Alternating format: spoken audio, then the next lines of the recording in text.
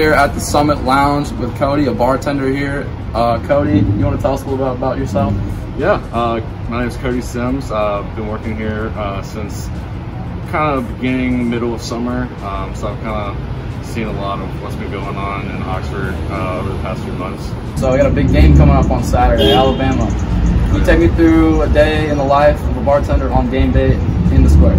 Uh, well, normally, you know, any other year it's going to be really busy. It's, I mean, it's still busy now, but um, but it's a little different this year. Uh, we we have to have you know a lot of these. There's a lot of these restrictions that we have to have less, a lot less people.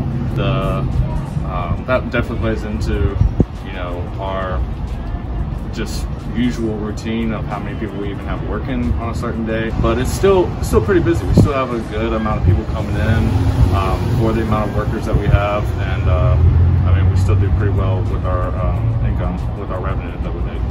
Um, so before the students came back, um, uh, we had, you know, we still have the restrictions uh, in the summer, and we had a lot of people who were abiding by the rules and you know understood the rules and it was pretty easy and then students came back and um, they didn't really understand uh, a lot of what the rules for the city here in Oxford had compared to where they had come from, um, from their hometowns, whether it be a smaller city or in a different state.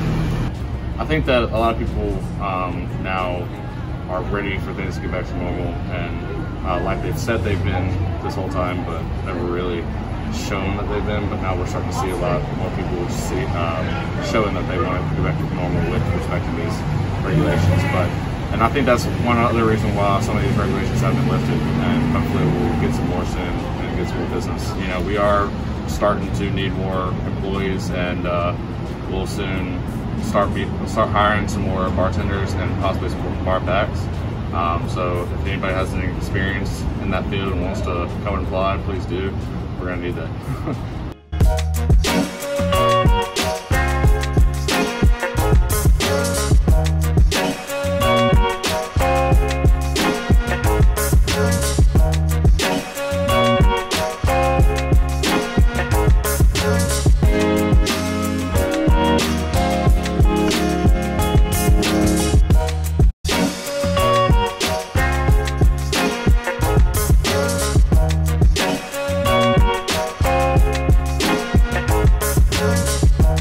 Toddy Go! I'm JC Unland, and this is HottyToddy.com.